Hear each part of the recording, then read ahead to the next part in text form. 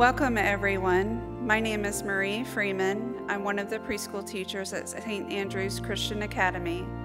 Today is Tuesday, April 21st, and our reading of Scripture today is Romans 6 9 through 14. For we know that since Christ was raised from the dead, he cannot die again. Death no longer has mastery over him. The death he died, he died to sin once for all. But the life he lives, he lives to God. For in the same way, count yourself dead to sin, but to alive to God in Christ Jesus. Therefore, do not let sin reign in your mortal body, so that you obey its evil desires. Do not offer the parts of your body to sin as instruments of wickedness but rather offer yourselves to God as those who have been brought from death to life, and offer the parts of your body to Him as instruments of righteousness. For sin shall not be your master, because you are not under law, but under grace. Devotion reading already died. The widow's son, Jairus' daughter, Lazarus, and Tabitha.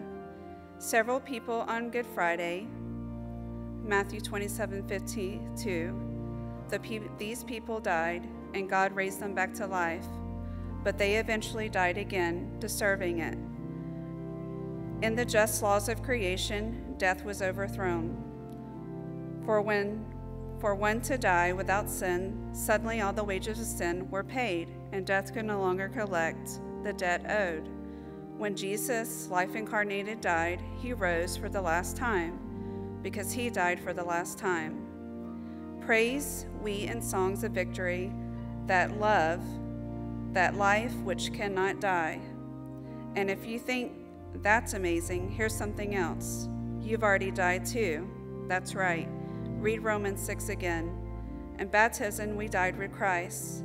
Our sinful selves are dead and buried and eternal life has already begun.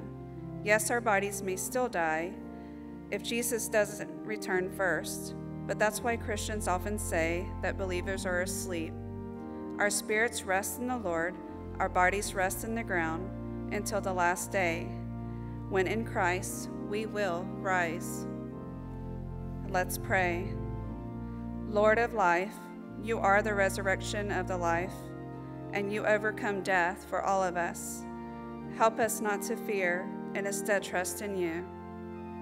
Amen.